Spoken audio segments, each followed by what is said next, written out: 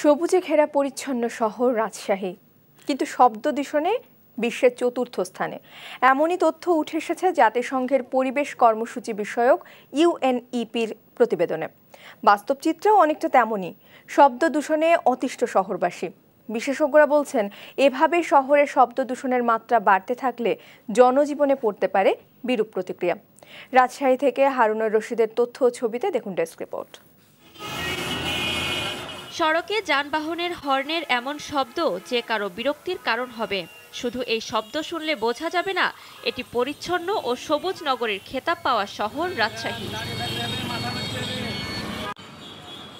শব্দ দূষণ এরই মধ্যে বিরক্তি ধরিয়েছে রাজশাহীবাসীকে। এ থেকে পরিত্রাণের উপায় খুঁজেই হয়রান তারা।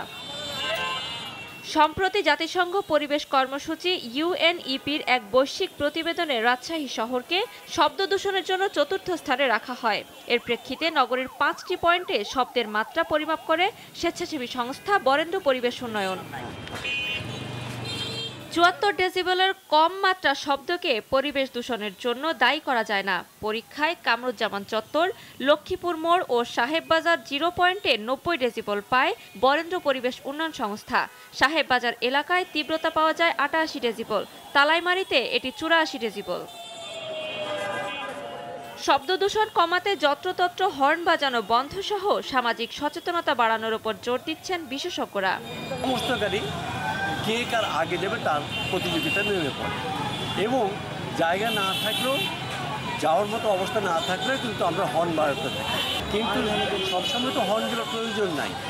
হ্যাঁ যেখানে প্রয়োজন সেখানে যদি আমরা হর্ন বাজে তাহলে এটা অনেকাংশে কমে যায়।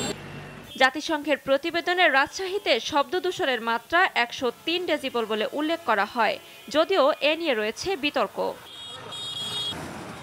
News desk, Desh TV.